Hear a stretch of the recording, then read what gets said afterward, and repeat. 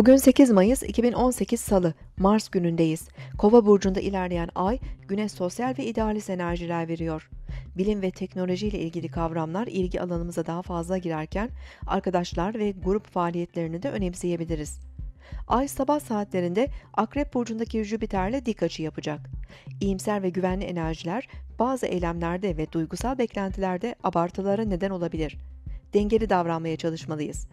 Öğleden sonraki saatlerde Ay, Koç burcundaki Merkürle uyumlu görünümde olacak. Zihnimiz daha yaratıcı ve verimli çalışabilir. Kendimizi yazılı ve sözlü iyi ifade edebilir, kültürel faaliyetlerde bulunabiliriz.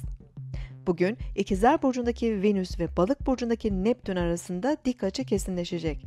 İlişkilerde duygusal ve melankolik hissedebilir, bazı yanılgılarla da karşılaşabiliriz.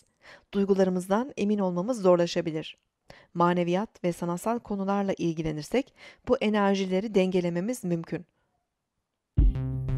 Siz de şimdi kanalımıza abone olun, yorumlar bölümüne sorularınızı yazın, sürprizlerimizden haberdar olun.